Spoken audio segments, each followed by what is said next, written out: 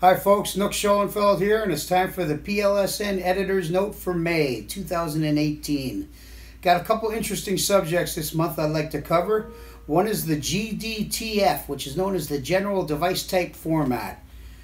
Basically, Robe, MA Lighting, and Vectorworks have gotten together and figured out that every time a new product comes out, a lot of us LDs are kind of boned because we don't have a CAD symbol we don't have a way to previs with that program right away, and we don't have a fixture library that works in every console. And that kind of like slows us down a lot. Kind of, kind of really sucks. So these guys know that, and they're getting together and they're trying to figure out a way that before every product comes out, we've got a CAD symbol, previs symbols, and fixture libraries for the major consoles. Pretty simple stuff. Hope it comes to reality. Next, they've got the campaign to stave stage lighting going on right now over in the EU.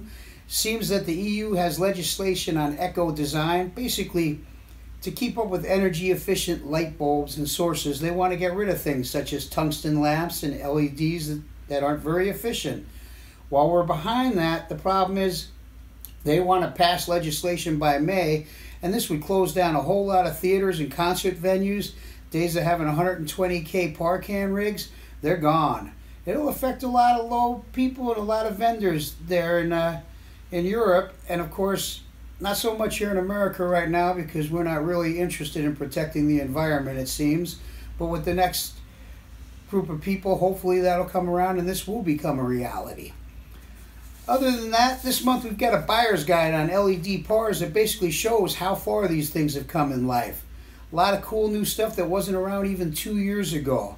They've definitely changed how it works and they're definitely more efficient than ever.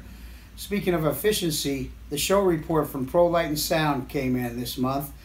About 50 different new companies had products that we covered that we thought you wanted to see, and we'll show you what's out there. A lot of LED stuff, a lot of new video stuff, a lot of cool stuff all around. We've also got a designer's insight on Demi Lovato and her tour, what she's up to. We have a spotlight on staging that covers the Jesus Christ Superstar show they shot with John Legend last Easter in uh, the Armory in Brooklyn. Some amazing lighting, but what I was really impressed with was the staging. Never expected it to be like that, and it worked. It was really cool.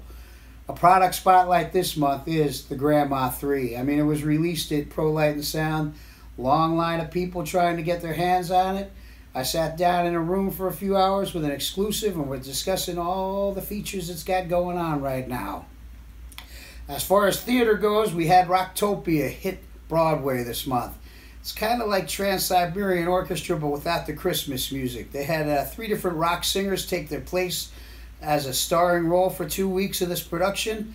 Some really cool stuff. It's kind of like rock and roll meets opera. We've got a wide focus as well on Judas Priest, the old motorcycle heavy metal gang, and the jam band Umphrey's McGee, and more stuff on installs from Austin City Limits and the Moody Theater there to the King Tut exhibit that's traveling around America right now. So get on the couch this month, pick up the PLSN, should be in your mailbox this week. Read all about what's happening in the world this month. Till next month, this is Nook, signing out.